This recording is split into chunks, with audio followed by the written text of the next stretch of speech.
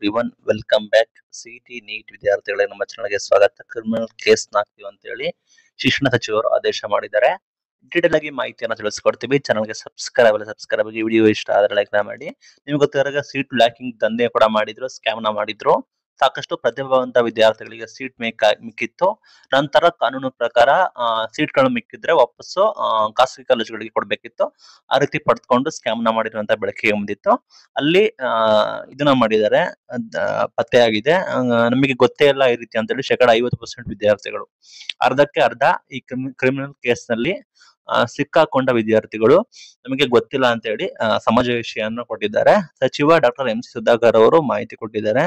ನೋಡೋದಾದ್ರೆ ಎ artificial intelligence machine learning ಆಗಿರ್ಬೋದು ಕಂಪ್ಯೂಟರ್ ಸೈನ್ಸ್ ಆಗಿರ್ಬೋದು, ಯಾವೆಲ್ಲ ಡಿಮ್ಯಾಂಡ್ ಇರೋ ಕೋರ್ಸ್ಗಳಿದೆ ಅವುಗಳನ್ನ ಬ್ಲಾಕ್ ಮಾಡಿ ವ್ಯವಸ್ಥಿತ ಜಾಲ ಆಗಿದೆ ಅಂತ ಹೇಳಿ ಶಿಕ್ಷಣ ಸಚಿವರಾದ ಡಾಕ್ಟರ್ ಎಂ ಸಿ ಸುಧಾಕರ್ ಅವರು ವ್ಯಕ್ತಪಡಿಸಿದ್ದಾರೆ.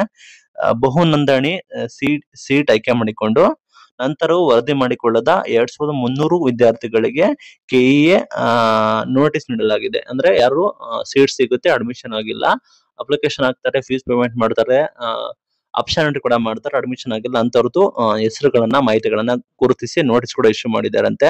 ಅದರಲ್ಲಿ ಶೇಕಡ ಐವತ್ತು ಪರ್ಸೆಂಟ್ ಮಂದಿ ಅದರಲ್ಲಿ ಅರ್ಧಕ್ಕರ್ಧ ಮಂದಿ ಜನ ನಮಗೆ ಇದ್ರ ಬಗ್ಗೆ ಮಾಹಿತಿ ಗೊತ್ತಿಲ್ಲ. ಅನಾರೋಗ್ಯ ಶುಲ್ಕ ಹೊರೆ ಈ ರೀತಿ ಕಾರಣಗಳು ನೀಡಿದ್ದಾರಂತೆ ಆ, ಇಲ್ಲಿ ಮೇನ್ ಆಗಿ ಮೊದಲ ಎರಡನೇ ಸುತ್ತಿನಲ್ಲಿ ಆಯ್ಕೆಯಾಗಬಲ್ಲ ಶ್ರೇಯಾಂಕವುಳ್ಳ ವಿದ್ಯಾರ್ಥಿಗಳು ಆಯ್ಕೆ ಮಾಡಿಕೊಳ್ಳದಿರುವುದು. ಮೀನ್ಸ್ ಫಸ್ಟ್ ಸೆಕೆಂಡ್ ರೌಂಡ್ ಅಲ್ಲಿ ಆ, ಅವ್ರಿಗೆ ಈಸಿಯಾಗಿ ಸಿಗ್ತಾ ಇತ್ತು ಸೀಟು ಅದನ್ನ ಆಯ್ಕೆ ಮಾಡ್ಕೊಂಡಿಲ್ಲ ಅವರು. ನಂತರ ಆಯ್ಕೆ ಮಾಡ್ಕೊಂಡಿದ್ದಾರೆ ಅಂದ್ರೆ ಸೆಕೆಂಡ್ ಎಕ್ಸ್ಟರ್ನಲ್ ರೌಂಡ್ ಅಲ್ಲಿ ಅವರು ಮತ್ತೊಮ್ಮೆ ಆಪ್ಷನ್ ಬಿಟ್ಟಾಗ ಆಗ ಚೂಸ್ ಮಾಡಿದ್ದಾರೆ ಅಂತ ಹೇಳಿ ಗಮನಿಸಿ ಮಾಹಿತಿ ಬಂದಿದೆ. ಇದು ಕೂಡ ಸೀಟ್ ಬ್ಲಾಕಿಂಗ್ ಸೀಟ್ ಬ್ಲಾಕಿಂಗ್ ದಂಧೆ. ಇದು ಕೂಡ ಅನುಮಾನ ಉಂಟು ಮಾಡಿದ್ದೆ. ಇದನ್ನು ಭೇದಿಸುವ ಉದ್ದೇಶದಿಂದ ವರದಿ ಮಾಡಿಕೊಳ್ಳೋದು ಅಂದ್ರೆ ಯಾರು ಅಡ್ಮಿಷನ್ ಆಗಿಲ್ಲ ಅಂತ ವಿದ್ಯಾರ್ಥಿಗಳ ಬಹು ನೋಂದಣಿ ಬಳಸಿದ ಐಡಿ ಅಡ್ರೆಸ್ ಆಧರಿಸಿ ಕ್ರಿಮಿನಲ್ ಕ್ರಿಮಿನಲ್ ದಾವೆ ಹೂಡಿಸಲು ಕರ್ನಾಟಕ ಪರೀಕ್ಷಾ ಪ್ರಾಧಿಕಾರ ಸೂಚನೆ ಇಸಿದೆ ಮೀನ್ಸ್ ಆ ಒಂದೇ ವಿದ್ಯಾರ್ಥಿಗಳ ಡಾಕ್ಯುಮೆಂಟ್ ತಗೊಂಡು ಲೈಕ್ ಒಂದೇ ಮೊಬೈಲ್ ಯೂಸ್ ಮಾಡ್ಕೊಂಡು ಹತ್ತಾರು ಲಾಗಿನ್ ಆಗೋದು ಅಥವಾ ಒಂದೇ ಲ್ಯಾಪ್ಟಾಪ್ ಯೂಸ್ ಮಾಡೋ ಮಾಡ್ಕೊಂಡು ಹತ್ತಾರು ಲಾಗಿನ್ ಆಗೋದು. ಇದನ್ನ ಐ ಪಿ ಅಡ್ರೆಸ್ ಮುಖಾಂತರ ಟ್ರ್ಯಾಕ್ ಮಾಡಬಹುದು ಅದೇ ರೀತಿ ಯಾರ್ದು ಒಂದರಲ್ಲೇ ಹತ್ತಾರು ಬಾರಿ ಲಾಗಿನ್ ಆಗಿದೆ ಅಂತವ್ರದ್ದು ಮಾಹಿತಿಗಳನ್ನ ಇದನ್ನ ಕಲೆ ಹಾಕ್ತಿದೀವಿ ಅಂತ ಹೇಳಿದರೆ ಒಂದು ಒಂದು ಐ ಪಿ ಅಡ್ರೆಸ್ ಮೇಲೆ ಗರಿಷ್ಠ ಹತ್ತು ಆಯ್ಕೆ ನೋಂದಣಿಯಲು ಅವಕಾಶ ಇದೆ. ಆ, ಅಂದ್ರೆ ಒಂದು ಐ ಪಿ ಅಡ್ರೆಸ್ ಅಲ್ಲಿ ಕೇವಲ ಹತ್ತು ಅಷ್ಟೇ ಕಾಲೇಜುಗಳನ್ನ ಆಯ್ಕೆ ಮಾಡಬಹುದು ಅಂತ ಇದೆ. ಬಟ್ ಪ್ರತಿಷ್ಠಿತ ಕಾಲೇಜುಗಳಲ್ಲಿ ಇಪ್ಪತ್ತರಿಂದ ತೊಂಬತ್ತು ಸೀಟ್ಗಳು ಕೂಡ ಈ ಪಟ್ಟಿಯಲ್ಲಿದೆ ಅಂತ ಹೇಳ್ತಾ ಇದ್ದಾರೆ. ಅದು ಯಾವ ಪಟ್ಟಿಯಲ್ಲಿದೆ, ಯಾರು ಆಯ್ಕೆ ಮಾಡಿದ್ದಾರೆ, ಅದನ್ನ ಹೇಗೆ ಆಯ್ಕೆ ಮಾಡಿದ್ರು ಕೆ ಅಧಿಕಾರಿಗಳ ಕುಮ್ಮಕ್ಕಿದೆಯಾ ಅದನ್ನೆಲ್ಲ ಕಂಡುಹಿಡಿಯಬೇಕು ಅಂತ ಹೇಳ್ತಾ ಇದ್ದಾರೆ. ಆ ಕಾಲೇಜುವಾರು ಯಾವೆಲ್ಲ ಸೀಟ್ಗಳು ಕೂಡ ಶಂಕಿತರ ಇದ್ದಾರೆ, ಎಷ್ಟು ಇದಾಗಿ ಅಂತ ನೋಡೋದಾದ್ರೆ ಬಿ ಎಂ ಎಸ್ ಕಾಲೇಜಲ್ಲಿ ತೊಂಬತ್ತೆರಡು ಹೇಳ್ತಾ ಇದ್ದಾರೆ, ಈ ರೀತಿ ಸ್ಕ್ಯಾಮ್ ಆಗಿದೆ ಅಂತ. ಆಕಾಶ್ ಇನ್ಸ್ಟಿಟ್ಯೂಟ್ ಬಂದ್ಬಿಟ್ಟು ಏಯ್ಟಿ ಟು ಹೇಳಿದ್ದಾರೆ ನ್ಯೂ ಅರಿಸನ್ ಕಾಲೇಜ್ ಬಂದ್ಬಿಟ್ಟು ಫಿಫ್ಟಿ ಟೂ ಹೇಳ್ತಾ ಇದ್ದಾರೆ, Vivekananda institute of technology forty five Dayanand Sagar thirty four sir M sir M sir Visvesvaraya institute of technology thirty two MVJ college of engineering thirty one ಈ ರೀತಿ ಮಾಡಿದೆ ಅಂತ ಹೇಳಿದ್ದಾರೆ.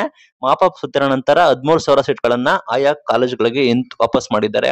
As per rules as per law in case ಮೂರು round ಮುಗ್ದು seat allotment ಆಗಿಲ್ಲ ಅಂದ್ರೆ ವಾಪಸ್ ಕೊಡಬೇಕು. ಆ ನಿಟ್ಟಿನಲ್ಲಿ ಆ ವಾಪಸ್ ಕೊಟ್ಟಿದ್ದಾರೆ. ಆಗ ಅವರು ಅದನ್ನ ಡೆಫಿನೆಟ್ಲಿ ಡಿಮ್ಯಾಂಡ್ ಇರೋ ಕೋರ್ಸಸ್ಗೆ ಜನ ಕಾಯ್ತಾ ಇರ್ತಾರೆ. ಅಡ್ಮಿಷನ್ ಆಗಿ ಆಗ್ತಾರೆ ಅಲ್ಲಿ ಅವರಿಗೆ ಮ್ಯಾನೇಜ್ಮೆಂಟ್ ಹೇಳಿ ಡಿಮ್ಯಾಂಡ್ ಇರುತ್ತೆ. ಹಂಗಾಗಿ ಮಾಡ್ಕೊಳ್ತಾರೆ. ಈ ರೀತಿ ಇದಾಗಿದೆ. ಆ ಸೀಟ್ ಬ್ಲಾಕಿಂಗ್ನಲ್ಲಿ ಯಾವುದೇ ಕಾಲೇಜು ಶಿಕ್ಷಣ ಸಂಸ್ಥೆಗಳ ಪಾತ್ರವಿದೆ ಎಂದು ಶಂಕಿಸುವುದು ಅವಸರದ ಕ್ರಮ. ಅಂದ್ರೆ ನಾವು ಈ ರೀತಿ ಮೊದಲೇ ಶಂಕೆ ಮಾಡ್ಕೋಬಾರದು. ಕಾಲೇಜು ಶಿಕ್ಷಣ ಸಂಸ್ಥೆಗಳ ಪಾತ್ರ ಇದೆ ಅಂತ ಐ ಪಿ ಅಡ್ರೆಸ್ ಆಧರಿಸಿ, ಐ ಪಿ ಅಡ್ರೆಸ್ ತೆಗೆದುಕೊಂಡು ವಿಚಾರಣೆ ಮಾಡಬೇಕು. ಆಗ ಅದರದ ಆಳ ಆಗಳ ಗೊತ್ತಾಗುತ್ತೆ. ಕಳೆದ ವರ್ಷದಲ್ಲಿ ವರ್ಷವೂ ಕೂಡ ಇದೇ ರೀತಿ ಆಗಿದೆ ಅಂತೇಳಿ ಅನುಮಾನ ಕೂಡ ಇದೆ. ಈ ನೆಲೆಯಲ್ಲಿ ಕೆಇ ಅಧಿಕಾರಿಗಳು ಶೋಧ ನಡೆಸಿದ್ದಾರೆ. ಸೀಟ್ ಬ್ಲಾಕಿಂಗ್ಗೆ ಅರ್ಹ ಬಡ ವಿದ್ಯಾರ್ಥಿಗಳಿಗೆ ನಷ್ಟವಾಗಿದೆ ಅಂತ ಹೇಳಿ ಸುಧಾಕರ್ ಅವರು ಹೇಳಿದ್ದಾರೆ.